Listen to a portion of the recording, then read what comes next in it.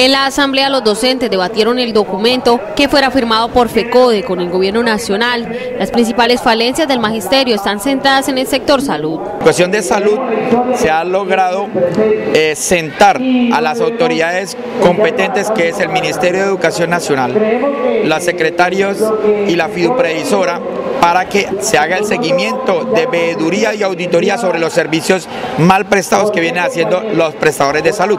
Las deudas para con los docentes son motivo además de preocupación. Bueno, hay, otros espacios que me faltó decir que pues, situaciones de deudas, en cuestiones de homologaciones, cuestiones salariales en Barranca Bermeja, tenemos eh, unas circunstancias de que nos ha beneficiado en gran parte de los maestros. Sin embargo, somos solidarios porque a nivel nacional hay unas afectaciones que son en prestaciones sociales ya en tramitación de cesantías, intereses a la cesantía, intereses moratorios. Buscan además hacer seguimiento a los compromisos adquiridos en aras de mejorar las condiciones en las que elaboran los docentes en Barranca Bermeja.